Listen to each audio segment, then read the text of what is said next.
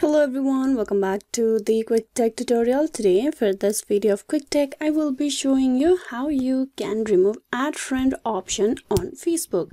Now to do that, what you need to do is open the Facebook application first and then get logged in into the account of yours.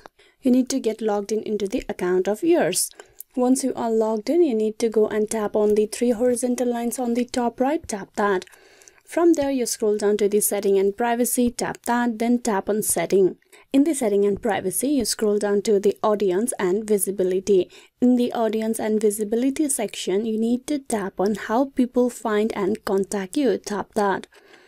Now here you will find all this option and from the option you need to tap on the first one who can send you friend request tap that once you do that, you will see this two option, everyone, friend of friend. So currently this setting has been saved to everyone. That is, everyone on Facebook will be able to send you a friend request. That is, your Facebook account will have the add friend option for every other Facebook user. So for you to remove that add friend option on Facebook, you can tap on the second option, friends of friends. This will limit the add friend option from everyone to the friends that are somehow known to you through your friend on Facebook. It's the only way how you can remove add friend option for everyone. Hope this video was useful. Please like and subscribe the quick tech tutorial. Thank you for watching till the very end.